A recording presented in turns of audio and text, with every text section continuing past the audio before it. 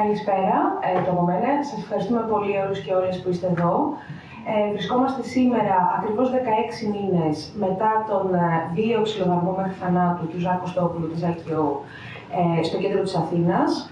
ε, και μία μέρα μετά από τη δημοσιοποίηση μιας εξέλιξης σε ό,τι αφορά την ε, δικαστική διαδικασία, την απόδοση επιτέλους ε, στην, και στη δημοσιότητα του βουλεύματος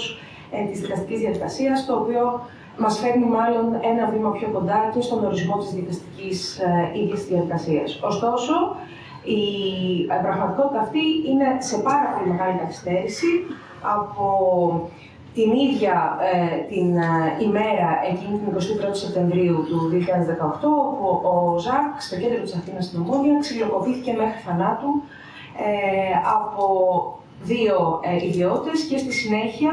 υπέστη αυτό που φαίνεται και από το βιντεοσκοπικό υλικό και τα στοιχεία να είναι αυθαίρετη και καταχρηστική ε, χρήση βίας από την πλευρά της αστυνομίας. Σήμερα, 16 μήνες μετά, είμαστε εδώ ε, με πρωτοβουλία της Διεθνούς Αμνηστίας, αλλά κυρίως μαζί με τους κοντινούς του ανθρώπους, τον αδερφό και την οικογένειά του και έχουμε μεγάλη ε, συγκίνηση που παρευρίσκονται στο χώρο και η μητέρα και ο πατέρας ε, του Ζάκ και του Νίκου και τους ευχαριστούμε πολύ γι' αυτό. Ε, μαζί με τους φίλους και τις φίλες του, τις δικηγόρους που έχουν δώσει ε, αυτή τη μάχη όλο αυτόν τον καιρό, την πρωτοβουλία Justice for Zach Zaki που συγκροτήθηκε από την πρώτη στιγμή και που έχει δώσει και ε, αυτή το δικό της αγώνα ώστε να μην καταδικαστεί η υπόθεση στην αφάνεια, τη συγκάλυψη και την παραπληροφόρηση, στοιχεία τα οποία είδαμε να επικρατούν στο δημόσιο διάλογο και την ε, πρώτη περίοδο μετά τον ε, ξενοδαρμό μέχρι θανάτου του ΖΑΚ, αλλά και το Forensic Architecture που ανέλαβε ένα σημαντικό βάρος διεξαγωγής μιας ερευνητικής διαδικασίας η οποία κατατέθηκε και στο πλαίσιο της ποινικής διερεύνησης, συλλέγοντας στοιχεία που σε πολύ μεγάλο βαθμό ήταν ευθύνη της επίσημης ποινικής διερεύνησης να συλλέξει και που είδαμε ε, δυστυχώς πολλές φορές ε, να υπάρχουν σοβαρά ελλείμματα ως προς αυτό. Ο Ζάκο Τόπουλο, Σιζάκη, ήταν ακτιβιστής, drag queen και υπερασπιστής των ανθρώπινων δικαιωμάτων, των ΛΑΤ και ατόμων και των αληθευτικών ανθρώπων. Ήταν γνωστός ε, στις ακτιβιστικές κοινότητες σε όλη την Ελλάδα. Ήταν γνωστός και στη Διεθνή Αμνηστία. Συμμετείχε πολλές φορές ε, κατά το παρελθόν και σε δικές μας ε, κινητοποιήσεις και δράσεις. Ήταν όμως ε, κυρίως γνωστός στον αγώνα του για τα ανθρώπινα δικαιώματα όλων ε, και μάλιστα όχι ε, με μια λογική κατακαιρματισμού ή μερικών διεκδικήσεων, αλλά ακριβώς παλεύοντας για μια καλύτερη κοινωνία, ισότιμη και πιο δίκαιη για όλους και όλες. Έχασε τη ζωή του τον περασμένο Σεπτέμβρη μετά από μια εξαιρετικά βίαιη επίθεση που δέχτηκε σε προσωματοπολείο στην περιοχή της Ομόνιας και παγιδεύτηκε μέσα σε αυτό. Σύμφωνα με το ιατροδικαστικό πόρισμα, ο Ζακ πέθανε από ισχυμικό επεισόδιο που προκλήθηκε από τα πολλαπλά τραύματα που υπέστη από τον ξελιδαρμό του. Τα στοιχεία και τα βίντεο, όπως και οι μαρτυρίες που έχουν έρθει στη δημοσιότητα, συγκλώνησαν την ελληνική κοινωνία, ενώ η υπόθεση απέκτησε σύμφωνα ε, σύντομα διεθνή εμβέλεια, με κινητοποιήσεις και δημοσιότητα σε πάρα πολλές χώρες σε όλο τον κόσμο. Όλο αυτό το διάστημα, ωστόσο, η οικογένεια, οι δικηγόροι αλλά και το κίνημα αλληλεγγύης έχουμε εκφράσει σοβαρές ανησυχίες για καθυστερήσεις και ανεπάρκειες στην ποινική και πειθαρχική διερεύνηση του θανάτου του Ζακ, οι οποίες περιλαμβάνουν την αποτυχία της αστυνομίας να διασφαλίσει σημαντικό αποδεικτικό υλικό, να εντοπίσει ή να αναγνωρίσει επιπλέον μάρτυρες και να συλλέξει βιντεοληπτικό υλικό που, είναι αναγκαίο για την, που ήταν αναγκαίο για την διερεύνηση. Επίσης, έχει εκφραστεί και από εμάς η ανάγκη διερεύνησης της ε, ευθύνης της ίδιας αστυνομίας στον ε, θάνατο του Ζάκ. Σήμερα η ποινική διερεύνηση για τον θάνατο αυτό έχει ολοκληρωθεί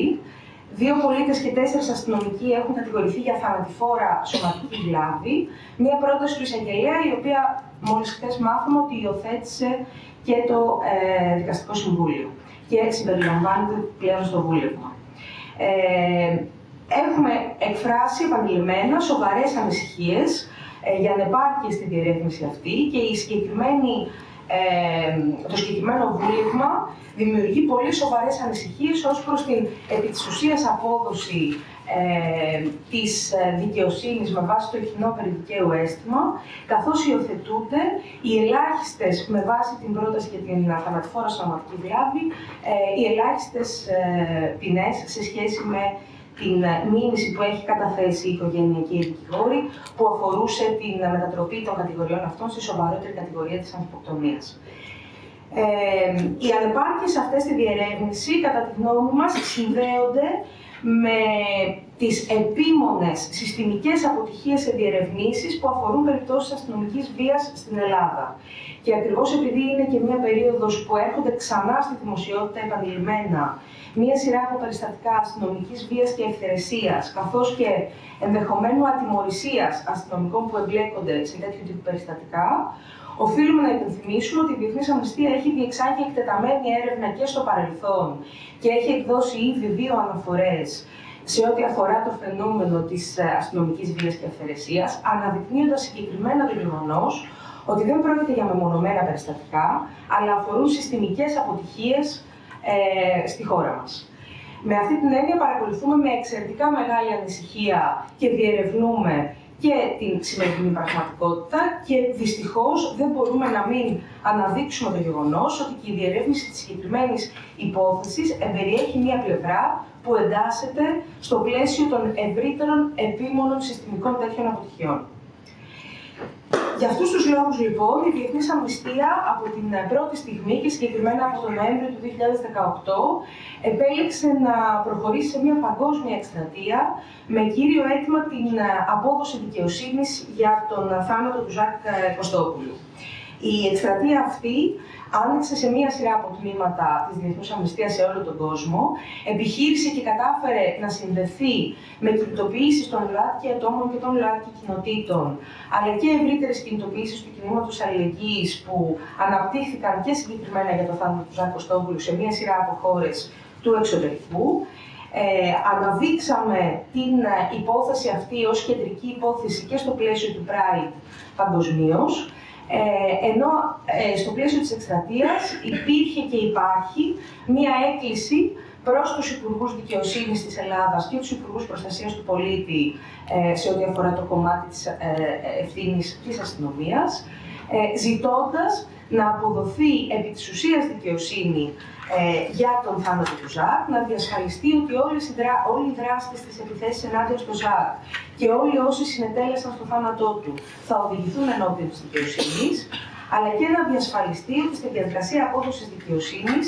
θα διερευνηθεί από τις αρμόδιες αρχές το ενδεχόμενο να υπήρξε κίνητρο μίσους, διάκρισης ή οποιασδήποτε άλλης προκατάληψης στην επίθεση.